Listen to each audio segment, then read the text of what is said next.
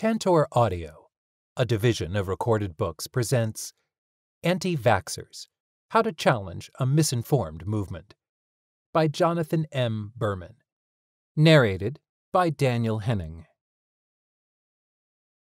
Preface Most of this book was written in 2018 and 2019, before the onset of the global COVID 19 pandemic that rages as I write this preface. In January 2020, I started watching news of the pandemic closely, and I started examining how people on the internet reacted to the news.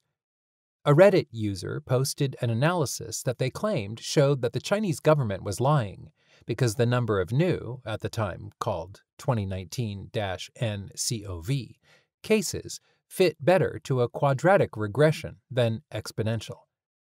I started examining the published epidemiological numbers on the epidemic, and because I'm not an epidemiologist, I didn't believe that I had run the analysis correctly. The model I ran predicted that in the United States, if COVID 19 became common, as many as 4 million people would die. It seemed an impossibly high number. Surely I had misunderstood a variable. In February 2020, a medical student who was doing a fellowship in a congressional office asked me about the outbreak in China, and I showed her my analysis. I included a figure with the effects of reductions in potentially infectious interactions being reduced in increments by 0%, 20%, 40%, 60%, and so on. The figure showed that if interactions were reduced by 40%, it would buy scientists time to study the new disease and give physicians time to treat it. I warned her that the state I live in has a limited number of hospital beds. I did not anticipate a shortage of ventilators, masks, or toilet paper. Later, someone presented a much clearer figure that showed the same idea. If we practiced social distancing by isolating ourselves and minimizing our interactions with other people, we could slow the spread of the disease. As the nature of COVID 19 became clear, a global pandemic was declared, and individual businesses, universities, cities, and states started to implement shutdowns. But politicians were slow to respond.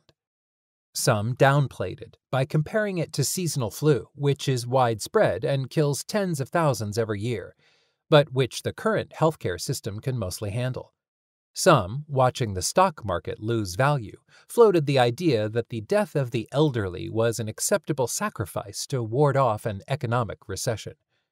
Worldwide, there have been reports of individuals ignoring the warnings of scientists and public health offices, going about their daily lives as if nothing unusual were going on.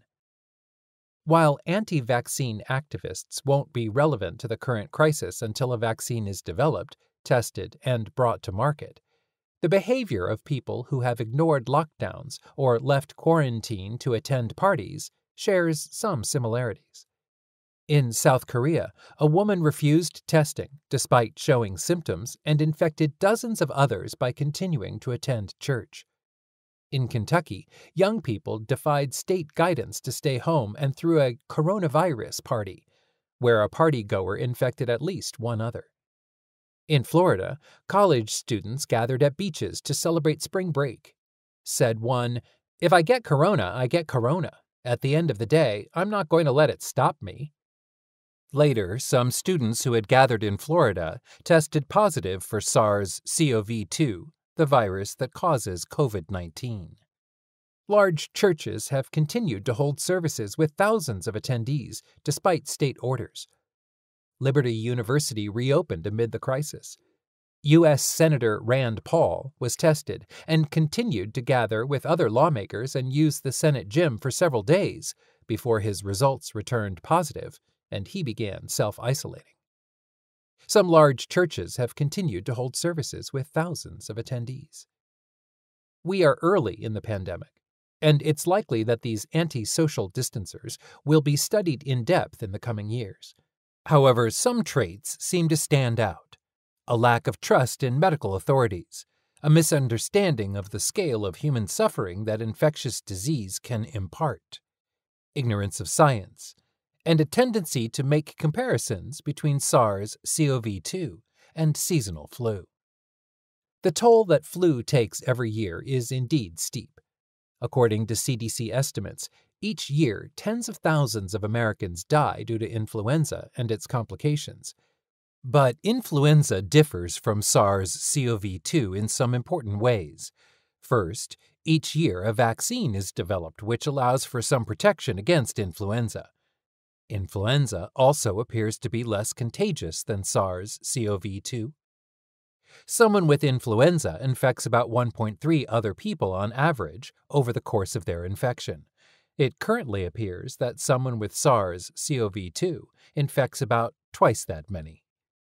A greater percentage of people suffering from COVID 19, up to 20%, require hospitalization, and a greater percentage of those who require hospitalization die.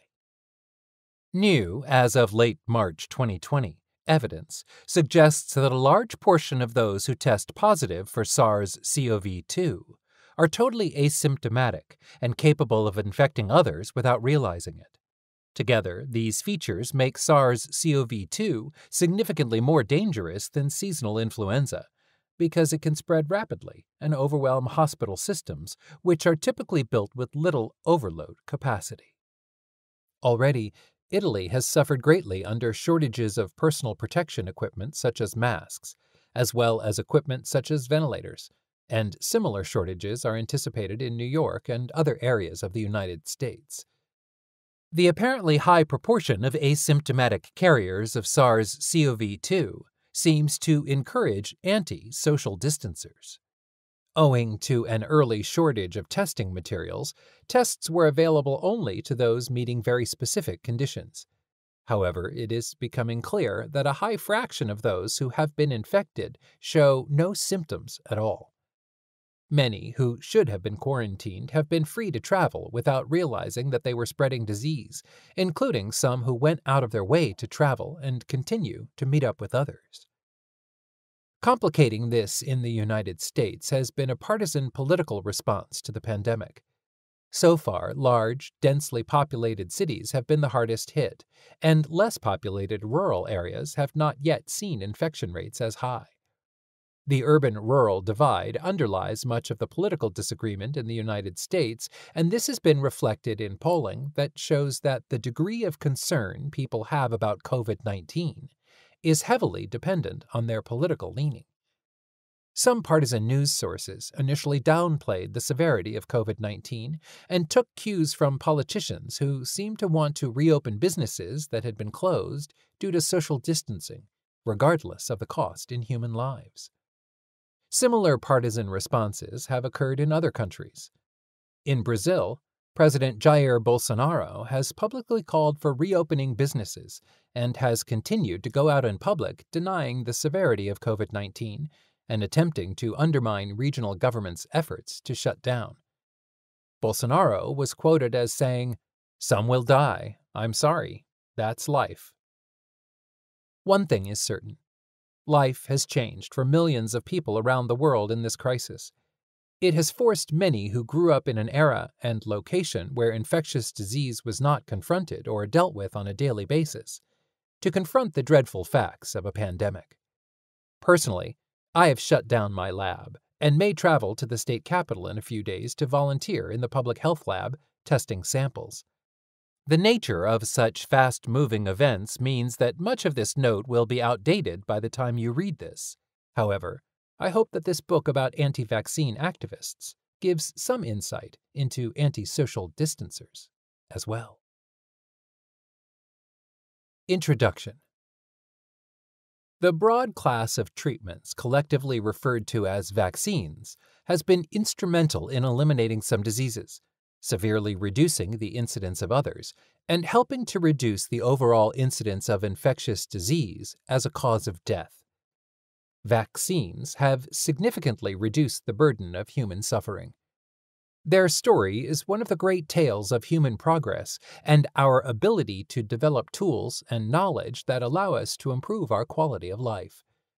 Nevertheless, some people oppose vaccination vehemently. Although many attribute the modern anti vaccine movement to Andrew Wakefield and his 1998 paper purporting to link the measles, mumps, and rubella vaccine to the development of a kind of late onset autism, opposition to vaccination is not new. Since the first smallpox vaccine was invented at the turn of the 19th century, there have been opposition to vaccination. In the case of the first vaccination, this opposition may have been justified because an uneducated farmer used a darning needle to acquire pus from an infected cow's udders and then scratch his family members. These historic anti vaccine movements have much to teach us about the modern anti vaccine movement. Wakefield's paper followed decades of anti vaccine rhetoric in the 19th and 20th centuries.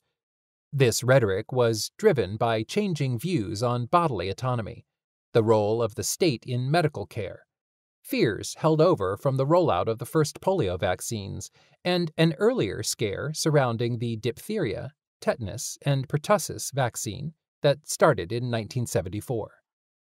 The vaccine scare of the 1970s and 1980s carried through to the 1990s, forcing several vaccine manufacturers out of business. Although Wakefield's paper was one of many proximate causes of the modern anti vaccination movement, it received widespread press attention, far more than did subsequent papers that did not support its conclusions. We will look at questions about the interface between news media and science, as well as at questions about how fake news spreads faster than real news. Over the last two and a quarter centuries, this opposition has been driven by several motivators fear of adverse side effects, objection to government intrusion in the body, conspiracy theories about big pharma, the financial motivation of those selling alternative treatments, and of lawyers seeking to sue drug companies, fear of Western or colonial intrusion into communities, rejection of the idea that anyone but a child's own parents might know what's best for them, and a sense of community and identity built around parenting choices. This opposition has caused real harm over time, including deaths from outbreaks of smallpox, measles, and polio, bankruptcy of vaccine manufacturers leading to shortages, and personal heartbreak as divisions sown by anti vaccine activists have damaged family relationships and friendships. Despite these setbacks, overall vaccination rates are high worldwide, and anti vaccine activism is still a niche pursuit. However, small enclaves exist where anti vaccine rhetoric has been effective, leading to clusters of unvaccinated children. These clusters put at risk those who, for a variety of medical reasons, may not be able to vaccinate, and have led to outbreaks of chickenpox and measles. Three broad strategies have been used to sway people from anti vaccine beliefs. I refer to these as reactive, information deficit, and community based strategies. A reactive strategy of engaging directly with anti vaccine advocates on the internet and mocking them or arguing with them is the least effective. Not only are vocal online anti vaccine advocates not representative of the average person with vaccine doubts, but this strategy can backfire, resulting in more entrenched views and damaged family relationships. When anti vaccine activists cite specific articles or use the language of evidence, typically they are aiming to justify beliefs that are held for non evidence based reasons. Addressing an argument without addressing the underlying emotional reasons for a belief is unlikely to be effective. When opposition to vaccination becomes attached to a person's identity and values, contradictory information can feel like an attack on that identity and those values. Information deficit strategies approach vaccination by making factual information about vaccination available to the public through, for example, websites, internet resources, and fact sheets. While presenting information resources to the public has been successful in increasing the intent to vaccinate, these strategies require those with questions to seek out such resources in the first place and then to know which of them are trustworthy. These strategies are not likely to be effective for entrenched anti vaccine activists, but can be effective for those with questions or doubts. Community based strategies, which I believe to be most effective, are strategies based on showing those with doubts that others in their community are vaccinating their children, that their peers in their mosque, synagogue, church, or temple, who are also good parents, have vaccinated their children, and that vaccination is an expectation of any good parent. Community based strategies have been used in the wake of measles outbreaks, exacerbated by anti vaccine activism, and resulted in significant increases in vaccine uptake. These strategies take into consideration the self identity and values of those who are being targeted by anti vaccine rhetoric. This book presents information that fits with all three strategies. It refutes many specific claims made by anti vaccine activists. Those seeking more details on these claims can look to additional resources, such as Paul Offit's books or Seth Mnookin's The Panic Virus. I have endeavored to balance not providing an additional platform to anti vaccine activists with addressing some of their most prominent and visible claims. There is an inherent tension in seeking to understand a movement while simultaneously refuting its claims. In this case, these goals are not truly at odds. There is no single organized anti vaccine movement. There are many individuals who have been influenced by a specific set of beliefs. An important part of understanding those beliefs is understanding if they are true. I doubt that a reader approaching this book with entrenched anti vaccine views is likely to have her or his mind changed. However, many have encountered conflicting information about vaccines or heard negative information from friends and relatives, but don't necessarily know enough about the topic to form a strong opinion either way. Others know about the importance of vaccination, but would benefit from a deeper discussion of the history of the anti vaccine movement when having an informed discussion about it. We will explore the motivations of anti vaccine advocates, including those with strong financial incentives, such as those selling alternative treatments. Otherwise, good, well intentioned parents who've gotten bad information and internet activists with myriad techniques and means of spreading misinformation. We will explore some of the psychological effects that make these techniques effective in spreading information and the means by which those with good information can work toward meaningful change in the laws regarding non medical exemptions. As we discuss religious exemptions, it will become clear that few religions actually specify an opposition to vaccination in their official teachings. Providing these exemptions harms those who have legitimate medical reasons for being unable to receive vaccinations, such as donor organ recipients, those with compromised immune systems, and the extremely young and extremely old. We will also discuss those harmed indirectly by the anti vaccine movement, not just those who become sick, but also disability advocates. A daughter estranged from her own mother because of a rift opened by her mother's anti vaccine sentiment, and activists who have received death threats for working on public health initiatives. Determining whether or not to receive vaccinations involves a set of decisions, each of which carries moral weight. They are decisions with the power to create or ease suffering. So, this book also touches very lightly on moral philosophy. In this book, I have two goals. The first is to provide a more complete picture of the anti vaccine movement, from its inception in the 19th century to present day social media wars. This goal is undertaken with the understanding that there is a complex balance of risks that we must face when making decisions about our own and others' health and which decision is correct can be murky and clouded with misinformation. I hope that this book brings the reader a deeper understanding of the anti vaccine movement. The second goal is to provide a counterpoint to some of the misinformation to which the reader may already have been exposed. If you are on the fence and looking for more information, then I hope this book will serve as a good resource.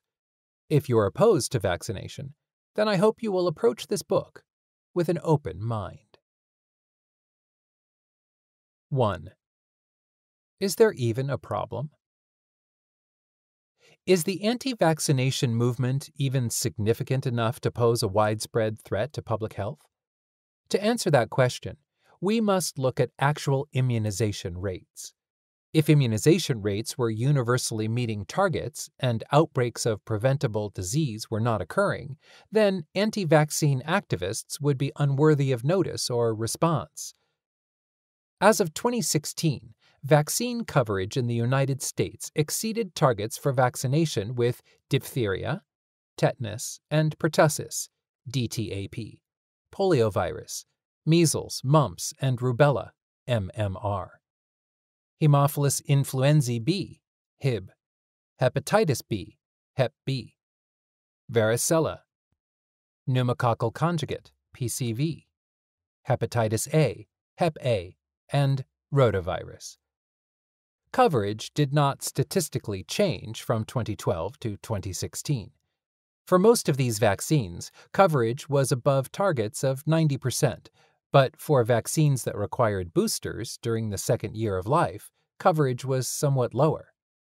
The best predictors of vaccine coverage were not membership in anti vaccine groups, but access to medical care, as determined by private insurance coverage, race, and socioeconomic status. In the United States, overall rates of people seeking exemptions based on philosophical beliefs are low, and religious objections are even lower. From 2011 to 2012, exemption rates for the MMR vaccine were less than or equal to 2%. Rates in Europe are similar. Although more Europeans express skepticism about vaccination, this has not, in most cases, translated into action significant enough to cause outbreaks of disease. In France, as of 2016, 41% of respondents disagreed or strongly disagreed with the statement, Overall, I think vaccines are safe. Yet 96% of children were vaccinated against diphtheria, tetanus, and pertussis, and 89% of children were vaccinated against measles. These numbers are lower than would be ideal, but are not as bad as suggested by the level of vaccine doubt. The difference between vaccine doubt and vaccination rate is a gap between intent and action. This disparity between belief and behavior has been termed the intention behavior gap, or the value action gap. Many of us experience such gaps in our daily lives. Most smokers know that smoking is bad for them, but smoke anyway. We know that driving above the speed limit is dangerous, but most drivers occasionally exceed speed limits. It isn't that smokers don't value their health, but that various other factors enter into each decision to smoke. Likewise, there are many factors that affect the likelihood of an individual choosing to vaccinate. While the measles vaccination rate in France should be higher, and the French government is working to improve vaccine coverage, the factors affecting parents' decisions to vaccinate include more than doubts alone. Those vaccines that have faced difficulty achieving high coverage rates are often tied to other controversies of morality or identity. Gardasil, a vaccine against some strains of the human papillomavirus, HPV, that causes almost all cervical and anal cancers, as well as the majority of vaginal cancers and cancers of the tonsils, soft palate, and base of the tongue, became very controversial after it was approved. Several largely Christian religious groups opposed adding Gardasil to routine vaccination schedules on the basis that they believed it would lead young women to having premarital sex, which they opposed. Opposition to the HPV vaccine is probably better explained by the moral and cultural identity of those opposing it than by opposition to vaccination as a whole. The way that Gardasil was introduced by Merck and Company, Inc., may have played a role in this controversy, as well as in reporting in the media that did not properly place the data and the opposition to the vaccine in context. Merck enacted a lobbying campaign in state legislatures to make Gardasil mandatory for young girls. The campaign produced a very negative public reaction. By comparison, the Hep B vaccine, which similarly treats a sexually transmitted infection that can cause cancers, was introduced without much controversy and added to the routine childhood immunization schedule in the 1990s. The way that vaccines are introduced, as well as the cultural competency of those introducing them, to communities plays a very important role in preventing vaccine hesitancy. Despite the overall high vaccination rates in the United States, there are enclaves where anti vaccine rhetoric has taken root and decreases in immunization rates have occurred, leading to outbreaks in some cases. As early as 2010, anti vaccine activists were speaking to the Somali American community in Minnesota. In April through August 2017, there was a measles outbreak in Minnesota the largest in 30 years, with 79 cases, most of them Somali American children. This outbreak had the potential to be far worse because measles vaccination rates, while overall high, were much lower in some groups, such as private schools, where the vaccination coverage averaged only 83%. In a remarkable collaboration, public health officials worked with Somali American imams to conduct a vaccination campaign. Between April and July 2017, more than triple the normal number of vaccinations occurred in Minnesota clinics, and after the end of the outbreak, vaccination rates remained higher than before the outbreak. These results suggest that culturally literate approaches to communities where vaccination has declined can be effective in fighting outbreaks. Reports at the time showed people handing out flyers to spread anti vaccine conspiracy theories in the Somali American community, although anti vaccine groups campaigning in the area denied this activity. In another example, in 2014 through 2015, a measles outbreak occurred in California that spread to over 100 children, 45% of whom were unvaccinated. In the news media, this became known as the Disneyland outbreak. In California, vaccination rates had dropped from above 95% to about 92% in the prior decade, an effect attributed to anti vaccine activism. Following the outbreak, several public health measures were taken. A law, SB 277, made it more difficult to obtain non medical vaccine exemptions for children entering public school and the University of California system refused to accept unvaccinated freshmen. As a result, childhood vaccination rates have risen to above pre 2004 levels.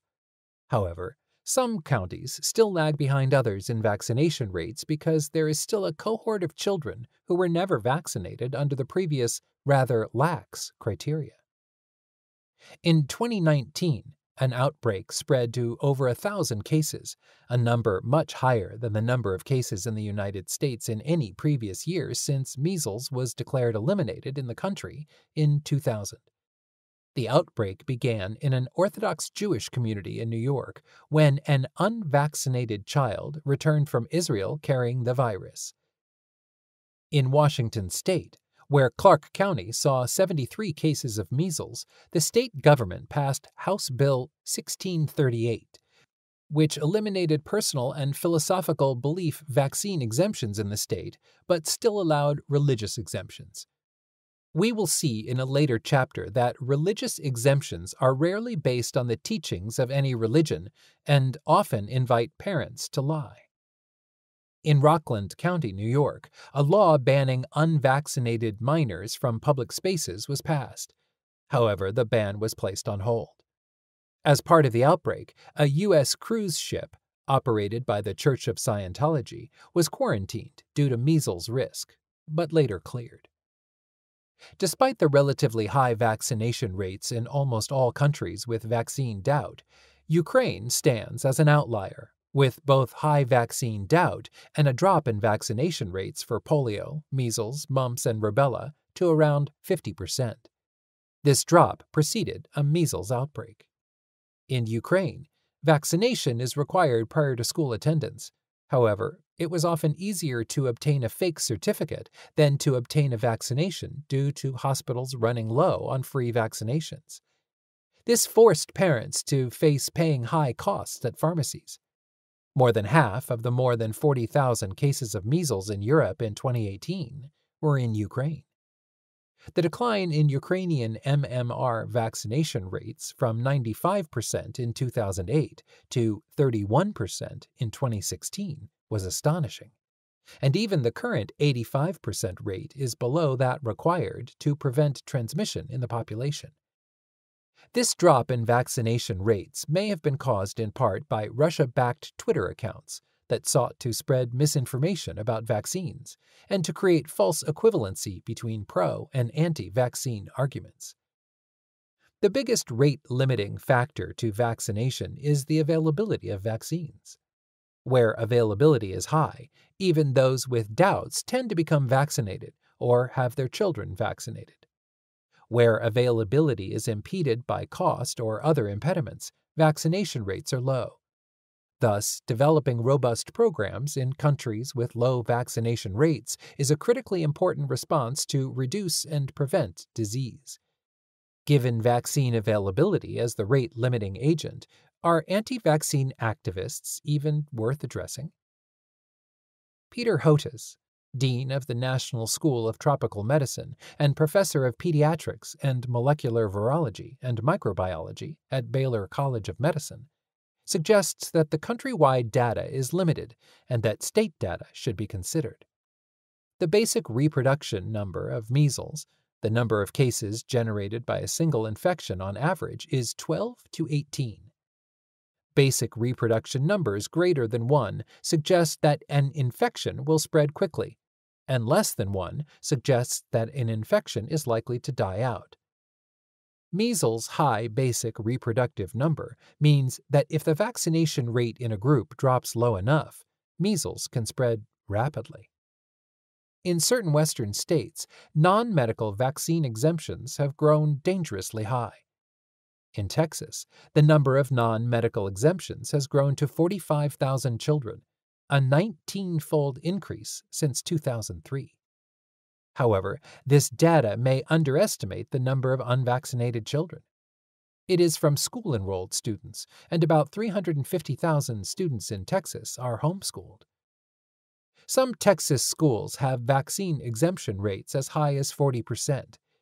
If a measles infection spread in this population, the risk would be not just to children with non medical vaccine exemptions, but especially to immunocompromised children the unvaccinated children's infant siblings, who are far more vulnerable to hospitalization and death due to measles infection, the elderly, and those with acquired immunodeficiencies, such as those undergoing treatment for cancer and those with AIDS.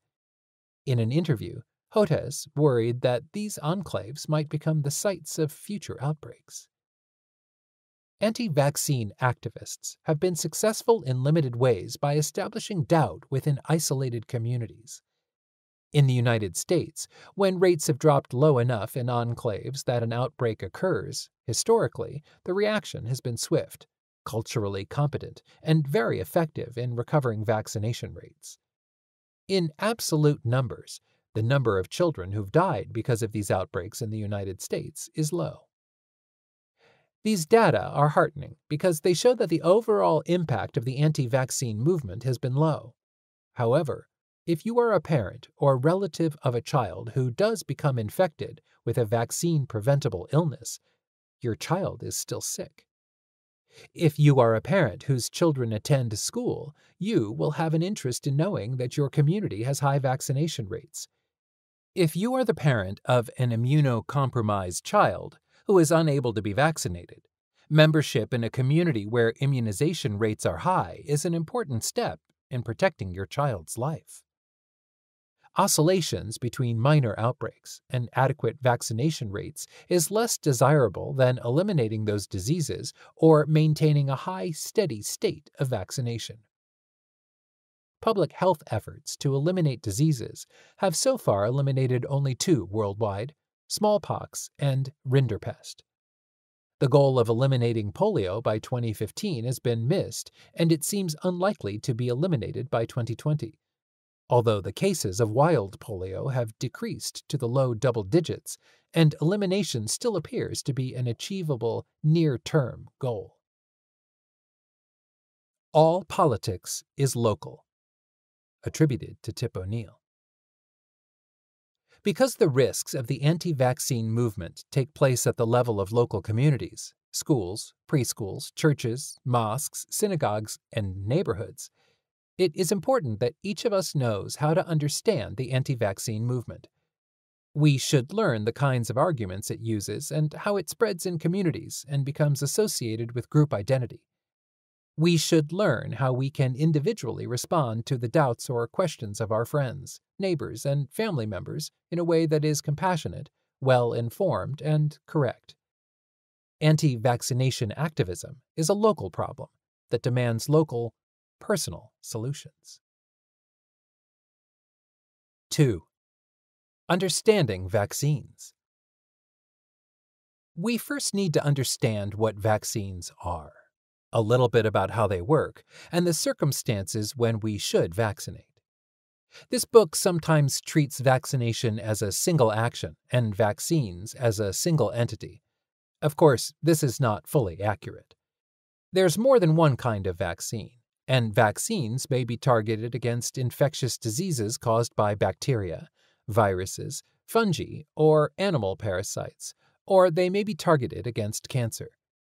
Vaccines may be composed of many different substances and may be administered under very different circumstances. However, because the anti vaccine movement often discusses vaccination as a single action, our discussion of vaccination will sometimes adopt this language so that we can discuss and address the movement's claims.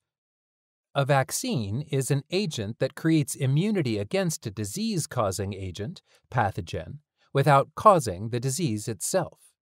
Immunity is the collection of defenses against disease causing organisms and materials, as well as cancer cells, that allows us to maintain protection against outside invasion. The system is both remarkable in the efficiency with which it protects us and imperfect.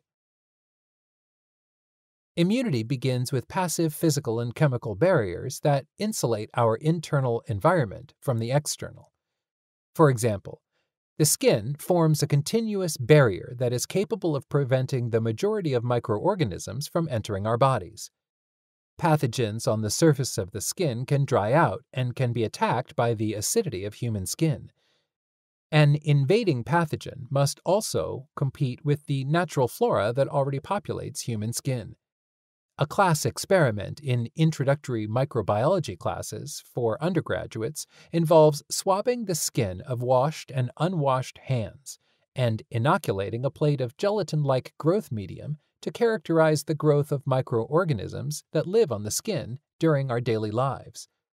The fact that unwashed hands can transmit disease was discovered in the 19th century and is still one of the major ways that disease spreads. In the mouth, Salivary glands secrete mucus and proteins called immunoglobulins, antibodies, to trap and disable microorganisms that enter through the mouth or nose.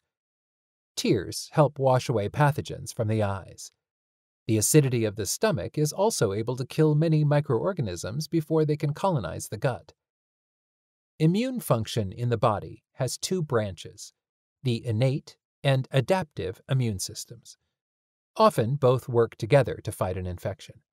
The innate immune system responds generally to invasion and to bacteria, viruses, and parasites, and does not need to be pre exposed to a disease. The adaptive immune system recognizes particular bacteria, viruses, and parasites and generates an active response to their presence. The adaptive immune system is what is made use of by vaccination. This system recognizes infections that the body has already encountered and mounts a rapid defense against them, preventing illnesses from reestablishing infection once eliminated. The cell types of the adaptive immune system are subdivided into T and B cells.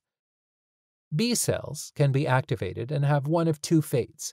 They can become plasma cells, factories that continuously produce antibodies, or they can become memory cells that remember a pathogen. When re exposed to a pathogen, memory B cells can divide into plasma cells and more memory B cells. Vaccines operate by placing in the body immune generating structures that are not capable of causing disease on their own. These might be fragments of dead viruses or bacteria, a modified form of an organism that is less virulent, or a related organism that cannot infect humans. These create memory B cells, but do not create the disease. On first exposure to a pathogen, the immune system might take a week to ramp up production of antibodies. On a later exposure, its response will be more rapid and more specific, ramping up production of antibodies within hours. To someone who has been immunized, exposure to a disease such as smallpox has a lower chance of the disease progressing to symptoms because antibodies will be rapidly produced and the invader defeated.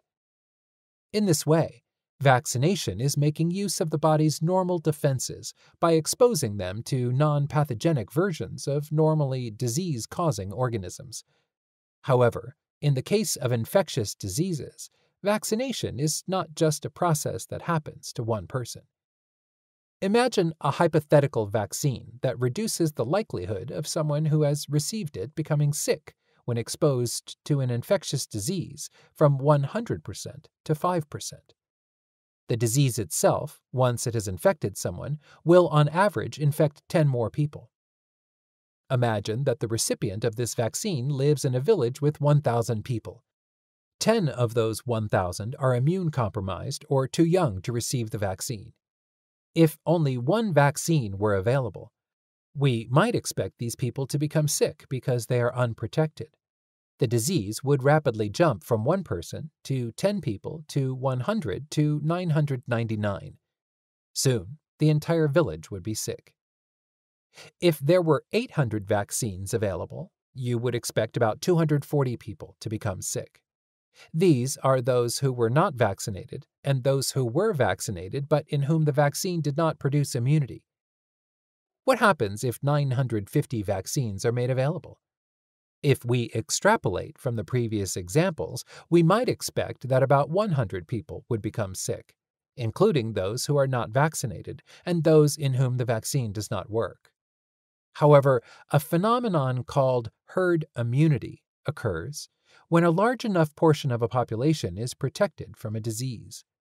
When enough of the population is protected from the disease, the incidence of the disease drops to a point where those who are vulnerable in the population are never exposed to it. Because infectious diseases survive by moving from one person to the next, if the disease cannot find a new host, it cannot continue. No one other than the initial patient, and perhaps one person with whom there is a chance encounter, becomes sick. Reaching this critical threshold in a population protects those who cannot receive a vaccine, which is why health officials often target vaccination rates to exceed herd immunity thresholds. Once this threshold number is exceeded, ongoing transmission of a disease can be ended. Efforts to eliminate diseases through vaccination rely on herd immunity to end transmission of infectious diseases. The anti vaccine movement is comprised of people who, for a variety of reasons, have chosen to oppose vaccination. Often, the movement is attributed solely to developments as recent as the late 1990s, but its origins go back much further into the origins of vaccination itself. Understanding how early anti vaccine movements arose, as well as the arguments they made, will help us understand the modern anti vaccine movement because many of the arguments and motivations behind it have not changed. 3. The world before vaccines. Upon a general calculation, three score persons in every hundred have the smallpox. Of these three score, twenty die of it in the most favorable season of life, and as many more wear the disagreeable remains of it in their faces so long as they live. Thus, a fifth part of mankind either die or are disfigured by this distemper. Voltaire. To those of us raised in the latter half of the 20th century or the early part of the 21st, it is astonishing that in the 18th century it was an inevitable fact of life that you were more likely to die from communicable diseases than from today's leading causes of death cardiovascular disease and cancer. In the world of the late 18th century, infectious disease was an inevitable feature of everyday life. The life expectancy at birth in England in 1750 was approximately 35 years. This low life expectancy was exacerbated by what is today an unthinkable infant mortality rate. So called puerperal fever, a post childbirth infection often spread by physicians, took many lives, and preeclampsia, hemorrhage, and cephalopelvic disproportion were not understood or well treated, making birth a significant risk for the mother as well as the child. A life without major infectious illness was a luxurious rarity. The bubonic plague periodically killed huge portions of the population of Europe. Outbreaks of cholera and typhoid regularly occurred, and smallpox was ever present. Not only was disease rampant, but it wasn't understood. The discovery that diseases could be caused by microorganisms was a century in the future. Diseases were recognized and classified, but the medicine of the time at best was palliative, and at worst did more harm than good. The first disease to be vaccinated against, and one of the first diseases to be investigated with an early version of the scientific method, was smallpox. Smallpox was a disease with a 30% mortality rate, characterized by influenza like symptoms followed by rashes and lesions on the skin and mucous membranes Many survivors were left permanently scarred or unable to see. Possibly at the time, mortality rates were even higher because distinctions may not have been made between chickenpox and smallpox. It is believed that smallpox had blighted humanity since the earliest Old World human agricultural civilizations, and characteristic lesions can be found even on preserved mummies from ancient Egypt. Smallpox cared not for social class, intelligence, race, piety, or prayer. Smallpox was egalitarian in its reign of death and disfigurement, until it was made into a biological weapon in the genocide of Native Americans by Europeans. Unlike other diseases, such as malaria, smallpox was not limited by climate. When an immune population would grow old and die off, an epidemic would occur and once again kill and disfigure anew. Smallpox was nasty and miserable, not a fun time at all. The disease gained its name variola from the same root as the English word various, various referring to the marks left upon the skin. Later, the field of virology was developed, and it became possible to classify diseases based on characteristics of the agent that caused them, rather than the condition they produced. With smallpox, the condition was caused by a type of virus known as an orthopoxvirus. Using modern methods, we now know that chickenpox, for example, belongs to a different family of viruses, despite carrying superficially similar symptoms, which is why the widespread vaccination for smallpox did not eliminate chickenpox. We hope you enjoyed this preview. To continue listening to this audiobook on Google Play Books, use the link in the video description.